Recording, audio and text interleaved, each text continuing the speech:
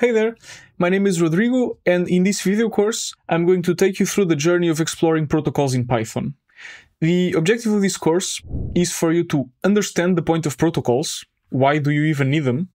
You will learn to create custom protocols in Python so that you can use them in your own code. You will build generic protocols for increased flexibility. You're going to learn about what members your protocols can have, because you can also make some decisions there. And you will use inheritance with protocols to see how to create hierarchies of protocols. Now, this is not a beginner video course, so there are some prerequisites. To make the most out of this course, I need you to make sure you are comfortable with OOP, inheritance, type hints, and with using static type checkers like MyPy, Pyright, or another one if you use another static type checker.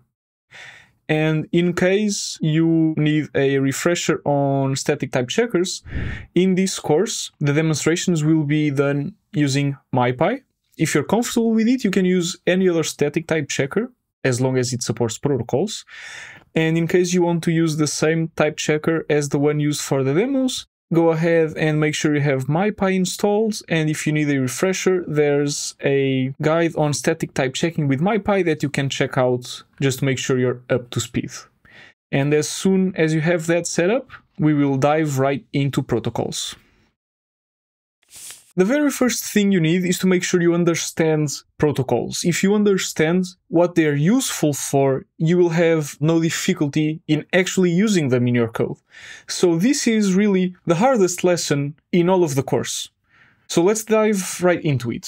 The first thing you need to make sure you understand is that using inheritance from object-oriented programming creates a hierarchy of classes. You have a parent class and then some child classes and then maybe some child classes of those first level child classes. And so if you keep going down the inheritance tree, you are building a hierarchy where each children has access to the methods and the attributes of the parent class. And protocols are actually orthogonal to this hierarchy. The point of protocols is to define sets of behaviors that many different classes might exhibit and that are not necessarily tied to this hierarchy. But this is all very abstract. Let's show you an example, a concrete example. Imagine you're building a very complex simulation of ecosystems in planet Earth. And right now you're trying to model the animal kingdom. And you might think, well, you'll define a class animal that is going to be the parent class for all species of animals that there exist. And then you might think of creating child classes for mammals and fish and birds and others. And you take this idea from biology because biology does this. You can classify animals as mammals, fish, birds, etc. So you think this is a good idea. And then you might think, all right, for mammals, I will define methods that allow mammals to walk and to run. And fish will know how to dive and to swim. And birds will know how to take off and fly and land. And so you're associating methods related to movement to each of these three classes, which will in turn have different animal species as subclasses. And this might look like a good idea, but as soon as you start thinking about concrete animal species, everything breaks off. For example, a whale is a mammal, so it should go under mammal in your hierarchy. However, whales cannot walk and they cannot run.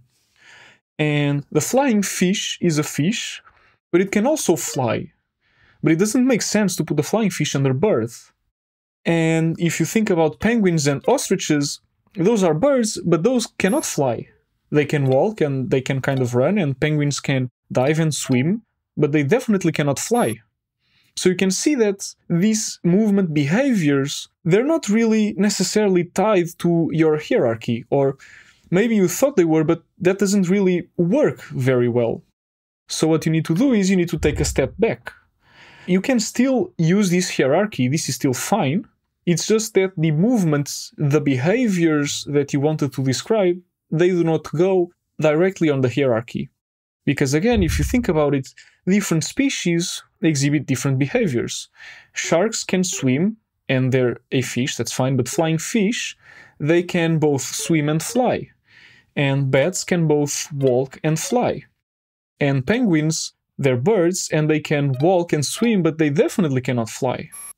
So these colorings on each of the species that are related to the behaviors, this is what the protocols are for. The protocols define the behaviors that you care about.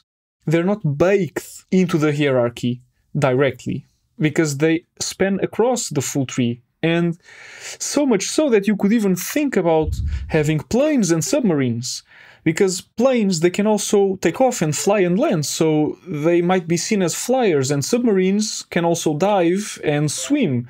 So those could also be seen as swimmers. And this is how protocols are related to duck typing. You might have heard if it quacks like a duck and if it walks like a duck it must be a duck. And this is exactly what we have here. When we think about whales and sharks and flying fish and penguins and submarines what we say is if it dives like a swimmer and if it swims like a swimmer, it must be a swimmer. It doesn't matter if it's an animal, a mammal, fish, bird, or if it's a submarine, something that is man made. So, this is the idea of protocols it's to isolate useful behaviors from your class hierarchy. If you understand this, then you're good to go. After understanding what protocols are useful for and what's the point, really, the next step is knowing how to create custom protocols in Python. And a protocol really is just a class that inherits from typing.protocol, where typing is the module from the standard library. So you define a class that inherits from protocol, and in that class you define a series of methods that represent this behavior that the other classes must implement. For example, for our walkers, it was walk and run, and for our swimmers, it was dive and swim. So this is all there is to it. To create your first couple of protocols, what you can do is from typing, you can import protocol, and now you will define the classes that inherit from this protocol that you imported. For example, to create a class for the Walker protocol, what you do is you say class Walker, you put a protocol inside the parentheses because you want to inherit from protocol, and then you will define the methods that you require.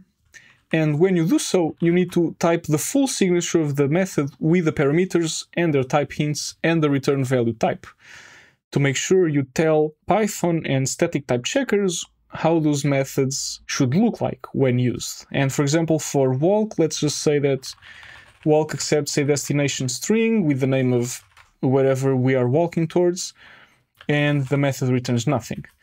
Once you have the signature, you can just put an ellipsis there because you don't have to say anything about the code. What you really want is just to prescribe the signature of the method.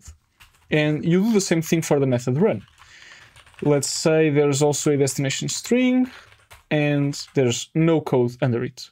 And this defines the protocol. And just for the sake of exercising, pause the video and do the same thing for the swimmer protocol. Alright, I'm assuming you gave it a go. It's similar. You create a class swimmer that inherits from protocol, and now you need to define a method dive. Now you couldn't have guessed, but let's say that dive accepts the depth the object is diving to, and it also returns none. And for the method swim, it's also going to accept a string destination. So this you have in front of you is the code for two different protocols. So you've created custom protocols, but if this feels underwhelming, it's because you haven't used them yet. And that's what you will learn in the next lesson.